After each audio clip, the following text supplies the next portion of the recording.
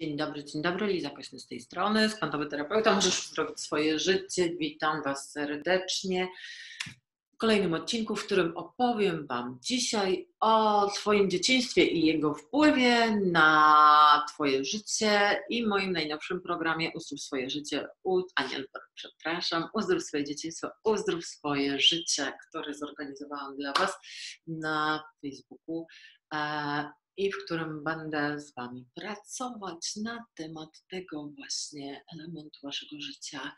I zacznijmy od początku. Słuchajcie, no mało się o tym mówi wciąż, e, chociaż mówi się o tym już coraz więcej, ale nadal przeciętny Polak czy Polka ma bardzo małą świadomość tego, jak bardzo nasze dzieciństwo wpływa na całe nasze życie. E, I także dlaczego wpływa na nasze relacje, na nasze e, związki, na nasze cieszenie się życiem, na nasze cieszenie się samym sobą, na nasze poczucie wartości, na to, jak my się czujemy, na nasze poczucie e, pewności siebie, na to, o co my się staramy, jakie, jak zarabiamy, jakie zawody wybieramy, czy my w siebie wierzymy, czy my w siebie nie wierzymy, na co my sobie pozwalamy i tak dalej, i tak dalej. To wszystko tak naprawdę korzenie ma w naszym dzieciństwie. Dlaczego? Dlatego przede wszystkim, ponieważ w naszym dzieciństwie przez pierwsze nasze lata życia, a w szczególności okres, słuchajcie, od momentu poczęcia, czyli od tego momentu, w którym byliśmy w brzuszku, poprzez to, jak zostaliśmy wychowani do mniej więcej szóstego roku życia, my od swoich rodziców dostajemy wzory e, na to, jak wygląda nasze życie i my się uczymy tego, jak wygląda nasze życie. I wszystko jest dobrze, kiedy w tej rodzinie jest harmonia, miłość, pokój, równowaga, szczerość, bliskość i w ogóle wszystko toczy się fenomenalnie. Jednakże rzeczywistość moja jako 20-letniego terapeuty um, pokazuje, że niestety wciąż w Polsce jest tak, że większość tych rodzin, większość naszego dzieciństwa była niedoskonała, żeby to miło powiedzieć. Niedoskonała w formie takiej, że um, mieliśmy bardziej lub mniej dysfunkcyjny dom i bardziej lub mniej dysfunkcyjnych rodziców. Oczywiście oni funkcjonowali na swoim poziomie świadomości, robili najlepiej jak potrafili. Jednakże my dostaliśmy pewną paczkę obciążeń, fizycznych, emocjonalnych, energetycznych, duchowych, które potrzebujemy rozpakować, ponieważ różne dysfunkcje, różne problemy, różne nadużycia lub różne zaniedbania w naszym dzieciństwie spowodowały, że my w wieku dorosłym możemy borykać się z problemami takimi właśnie, jak powiedziałam na początku, poczucie wartości, brak pewności siebie, poczucie, że nie zasługuje na coś, brak godności i tak dalej, i tak dalej. A w konsekwencji tego wchodzimy na przykład w beznadziejne relacje, beznadziejne związki, wybieramy, zaniżamy swoje właśnie swoje poprzeczki, bierzemy gorszą pracę, wybieramy bardziej,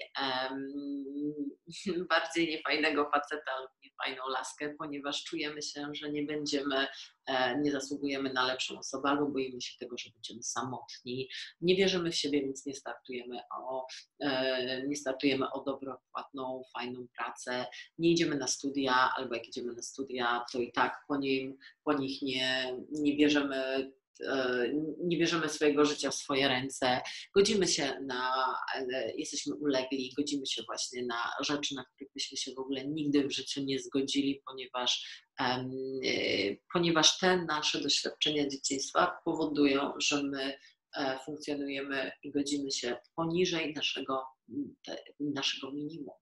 E, kobiety na przykład częściej zostają w związkach dysfunkcyjnych, w związkach problemowych, w związkach zależnych, gdzie tak naprawdę funkcjonują na poziomie tego, że tam tak naprawdę nie ma miłości, ale jest zależność finansowa, więc ogólnie rzecz biorąc e, trudno jest im odejść z relacji, godzą się na przykład na złe traktowanie poprzez partnera, poprzez, e, poprzez partnera przede wszystkim, czy poprzez pracodawcę, bo bo godzą się, bo tak zostały wychowane, bo się boją, bo nie wiedzą, że można inaczej, nie, nie funkcjonują i nie, nie mają nawet pojęcia, że coś jest dysfunkcyjne w naszym życiu.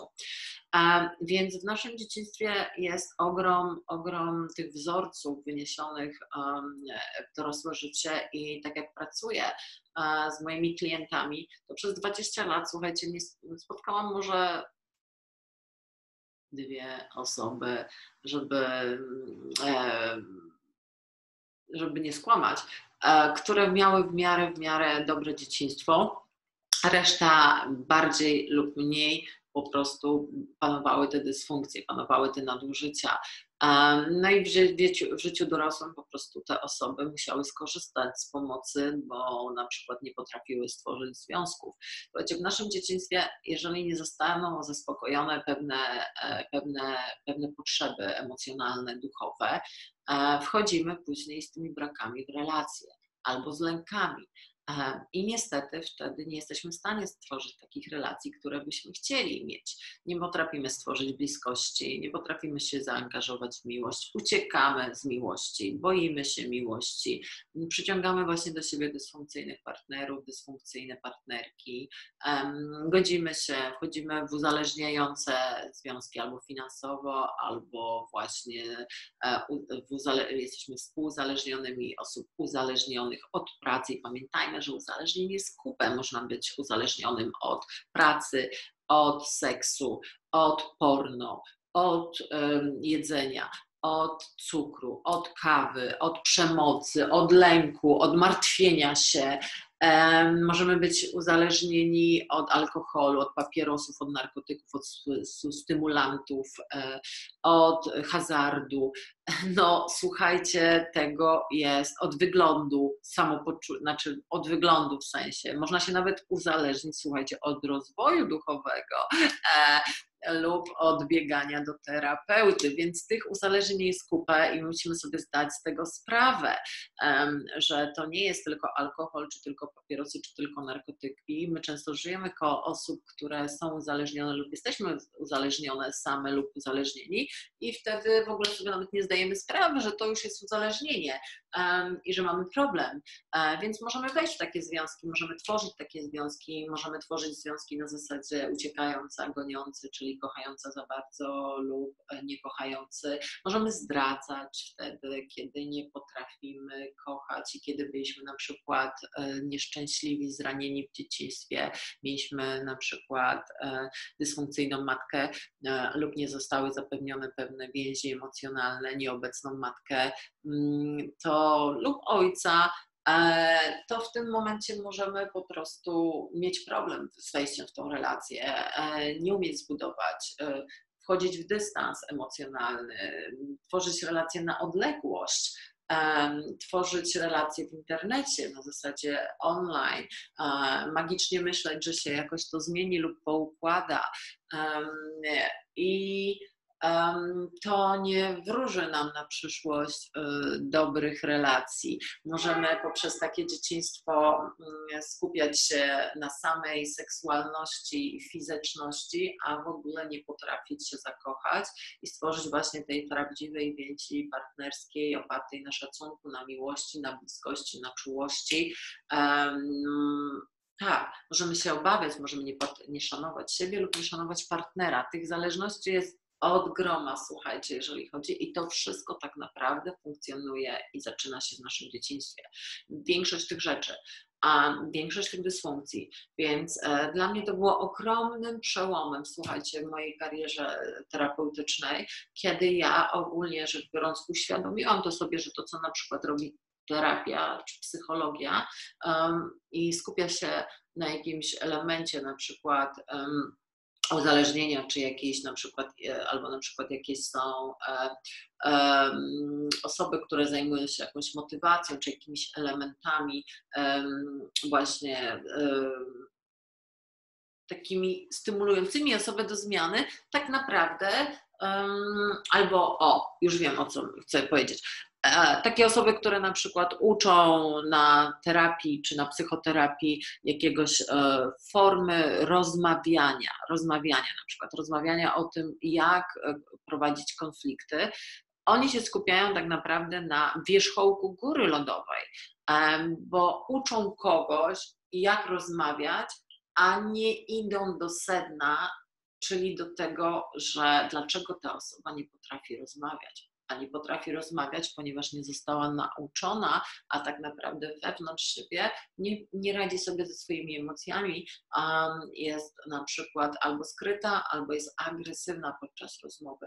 I my oczywiście możemy nauczyć się pewnych nawyków i próbować się nauczyć nawyku nowego, które tam e, zajmuje nam od 30 dni do 90 dni tak naprawdę trwałe przekucie nawyku, e, albo możemy uwolnić na poziomie emocji pierwotną sytuację i wtedy kompletnie zmienić siebie. I to my robimy właśnie na sesjach u mnie, na sesji tety, na sesjach po prostu u mnie. E, my zmieniamy tak naprawdę emocje na poziomie początkowym, samego korzenia, pierwotnego źródła, wyciągamy to, co jest tak naprawdę problemem pierwotnym i dzięki temu ty już nie musisz się uczyć nowych nawyków, tylko tak naprawdę widzisz, um, zmieniasz się poprzez uzdrowienie danej sytuacji, ty zaczynasz się inaczej zachowywać, inaczej reagować, ale trochę zobaczyłam z, z tego.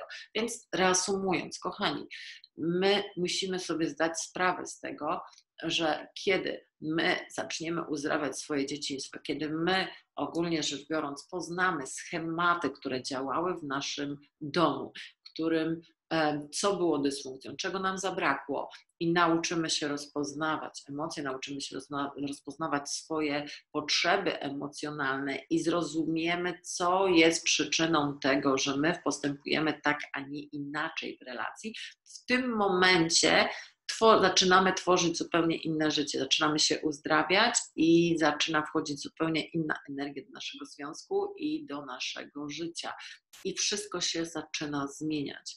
I to jest fenomen właśnie pracy e, z uzdrowieniem dzieciństwa, uzdrowieniem swojego wewnętrznego dziecka i tak naprawdę na ten moment i ja szczerze, z czystego serca uważam, że każdy z nas powinien tutaj zacząć.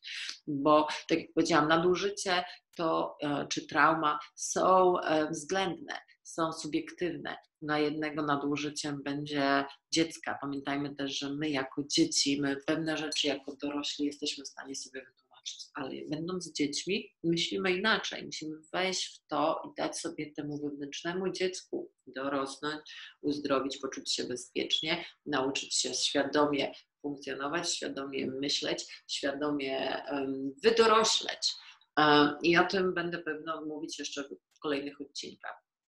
Ale do czego zmierzam? Zmierzam też do tego, że musimy sobie właśnie uświadomić, że to jest, tu jest clue programu, tu trzeba zacząć, tu jest wszystko, co potrzebujemy uzdrowić w relacjach, musimy uzdrowić w dzieciństwie. Kiedy uzdrowimy, to my stworzymy zupełnie inne relacje, pełne miłości, ciepła, bliskości, fenomenalności i nauczymy się kochać.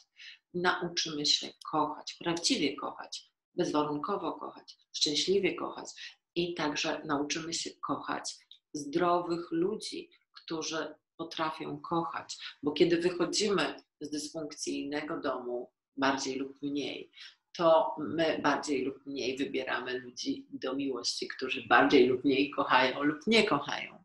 Kochani, kończę, ściskam. I do zobaczenia w kolejnym filmie, w kolejnym odcinku. Jeżeli Ci się to podobało, zostaw e, komentarz, napisz, co Ci się najbardziej podobało, zostaw, czego byś chciała więcej lub chciałbyś więcej wiedzieć, e, co Cię najbardziej zaciekawiło, co fajniej, żebym jeszcze więcej wyjaśniła. Jeżeli chcesz zostać w kontakcie, to właśnie naciśnij dzwonek, zasubskrybuj, bądź ze mną w kolejnym filmie. Możesz także dołączyć do mojej grupy na Facebooku e, Powrót do siebie. Możesz także dołączyć do moich profili społecznościowych, które linki zostawiam pod filmem.